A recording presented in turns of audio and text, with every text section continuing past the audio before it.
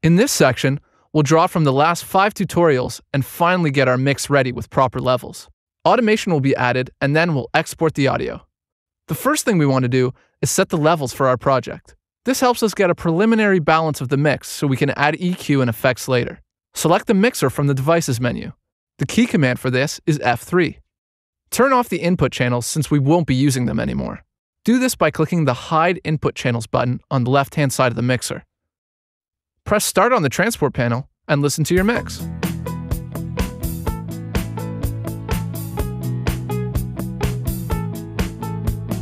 Move the faders for each track so you can hear all of the mix the way you like it.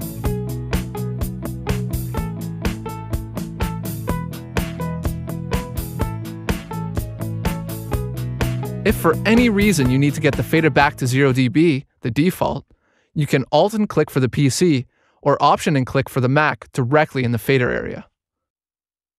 You can also change the fader by double clicking in the channel level area and setting the level manually. Be careful when it comes to how loud you raise the faders. Make sure you keep levels at a good volume so that they are as loud as possible without clipping. You will always know when you are clipping when the clip indicator lights up on the output channel. If it does, lower your levels and click on the clip. This will reset the warning light.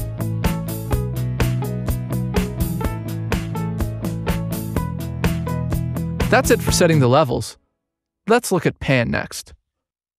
Setting the pan for each track moves its position in the stereo mix. It will either keep the signal balanced in the middle of the left and right speaker, lean to the left or lean to the right, or be completely in the left or right speaker. Right clicking in the panner on certain tracks presents you with three different types of pan options. Read up on the mixer in the operation manual for more information concerning different pan options.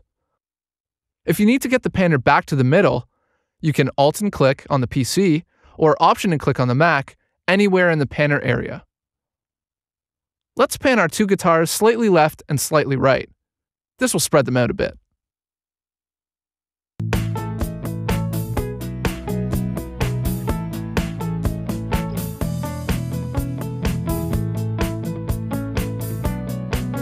Keep the drums track in the middle, but let's move loop 1 a bit to the left and loop 2 a bit to the right.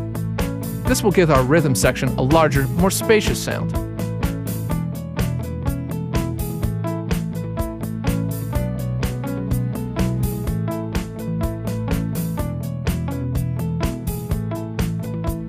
That's it for pan.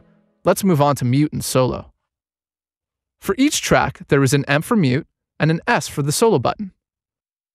Mute will prevent you from hearing the track, and solo will only play the track or tracks that have S highlighted. You can have many tracks muted or soloed at a time.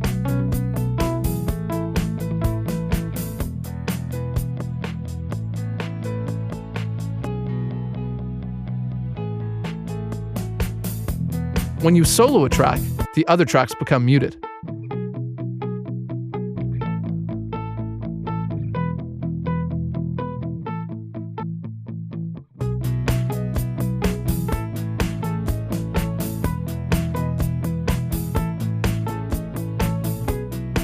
If you want to clear or deactivate all the mutes or solos, you can click on the Deactivate All Mute or Deactivate All Solo buttons on the left hand side of the mixer.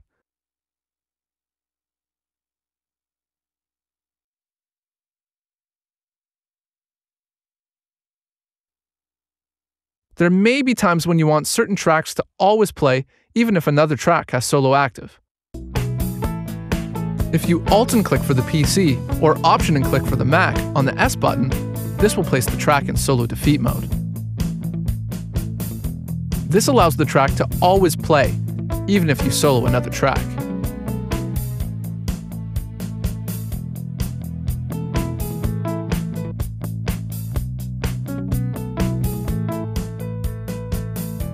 To take a track out of solo defeat mode, simply Alt and click it again on the PC or Option and click on the Mac.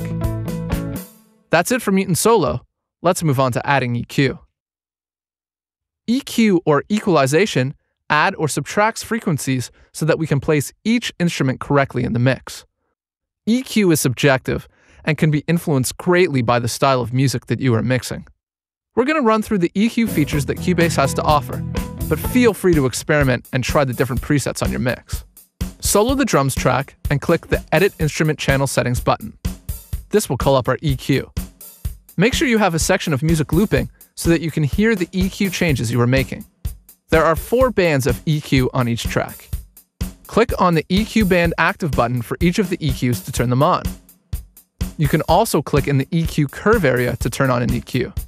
Click and move the EQ point up, down, right, or left. Moving the EQ point up or down raises or lowers the gain of the EQ.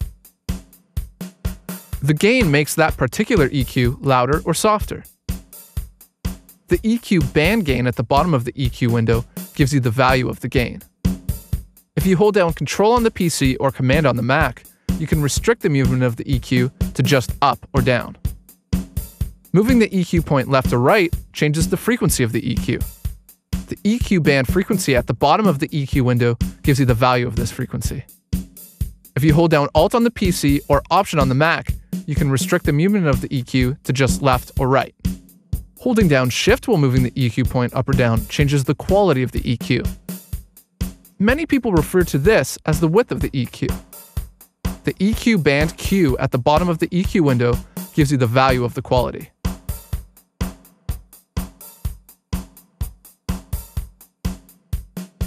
Preset Management button allows you to recall and store presets. Choose from the list to get a sound that's close to what you want, and then adjust it slightly. You can then store it as a new preset.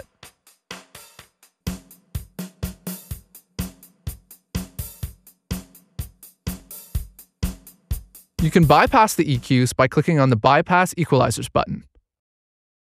A good tip when using EQ is that it's usually better to take away EQ or lower the gain than to add it.